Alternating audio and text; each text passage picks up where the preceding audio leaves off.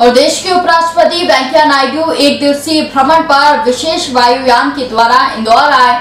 इंदौर आगमन पर उनका आत्मीय स्वागत किया गया। नायडू की अगवानी कर विमानतल पर राज्यपाल लालजी टंडन ने उनका स्वागत किया। इस अवसर पर राज्य शासन की ओर से स्वास्थ्य मंत्री तुलसी राम सलावट और उच्च शिक्षा मंत्री जीतू पटवारी ने भी राष्ट्र, उपराष्ट्रपति का आत्मीय स्वागत किया। इस अवसर पर सांसद शंकर लालवानी संभाग आयुक्त आकाश त्रिपाठी, अतिरिक्त पुलिस महानिदेशक वरुण कपूर, कलेक्टर लोकेश कुमार जाटव, डीआईजी रुचिवर्धन मिश्र सहित अन्य अधिकारी भी मौजूद थे।